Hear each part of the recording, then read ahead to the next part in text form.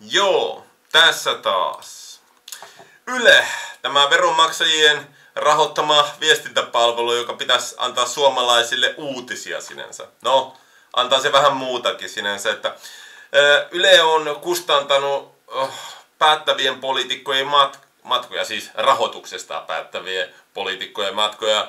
Tämä Yle, olympialaismatkojen tarjoaminen hallintoneuvoston puheenjohtajalle on kuulemma sellainen vanha tapa, maan tapa kai sinänsä, ja hallintoneuvoksen tehtävänä olisi valvoa Yleisradion hallintoa, rahoitusta ynnä muita vastaavaa, ja tässä tämä puheenjohtaja Valinheimo niin kuin, no, kokoomuksesta niin sai 25-vuotias häämatkan lahjan kai tässä Yleltä sinänsä. Että tämä kai sitten, jos haluaa olla salaliittoteoreetikko, niin tämä kai selittää, minkä takia Ylen rahoituksesta ei leikata sinänsä. Eli tällä tavalla niin kuin varmistetaan, että on myötämielinen tai ainakin pitää suussa kiinni, kun päätetään rahoituksen leikkauksesta tai muita vastaavaa.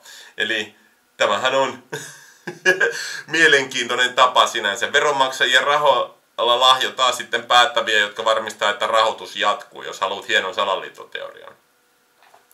Eli tämä on maan tapa kai Suomessa sinänsä.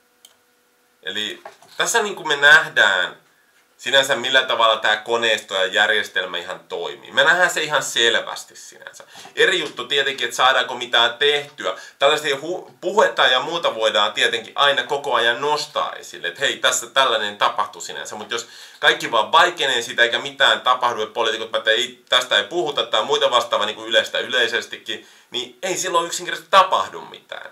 Me ei olla vielä siinä tilanteessa, että rahasta olisi ihan valtava pula sinänsä. Ja vielä on no, poliitikot, jotka on rahoituksessa kiinni ja saa näitä hienoja lahjoja ja matkoja ja muita. Ne vielä on vallassa ja pystyy olemaan, ennen kuin niistä, siitä tulee niin paha imakohaitta ja muita vastaavia, että niiden uudelleenvalinnat ja muut alkaa vaarantua. Tietysti ne on voinut ra- varmistaa rahoitusta ja avustajaa paikan niin kuin jatkossakin sinänsä, jos niillä on tarpeeksi tietoa tässä vaiheessa.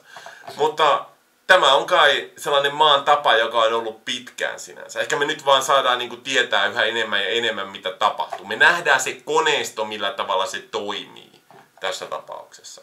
Mutta niin kuin sanoin, eri juttu on sitten, että lähteekö jotain tapahtumaan, jolla ruvettaisiin karsimaan tätä sotkua ynnä mitä on tehty ynnä näitä ylimääräisiä menoja. Me ei olla vielä siinä tilanteessa. E, et mutta eikö sinne mennä, kun homma lähtee pahasti kaatuamaan talouden puolelta sitten. Sitten ruvetaan oikeasti katsomaan, että mistä voidaan leikata sinänsä. Ja sitten voi ollakin ongelma, että tätä ei enää pystytä salaamaan ja päättämään, että hei nyt on mentävä sinänsä. Mutta ei olla vielä siinä tilanteessa. Ehkä me voidaan päästä siihen tilanteeseen, jos pidetään tarpeeksi meteliä asiasta ja muita vastaavaa. Mutta jos puolueiden johtajat ei rupea tekemään mitä, ehkä ne on vähän itsekin päässyt siihen mukaan tai muita, tai ei ole tarpeeksi kovaa painetta, että ne tekisi jotain, niin homma tulee jatkumaan sinänsä. Mutta hei, ainakin me nyt nähdään, miten se tapahtuu. Tässä kaikki. Jatko.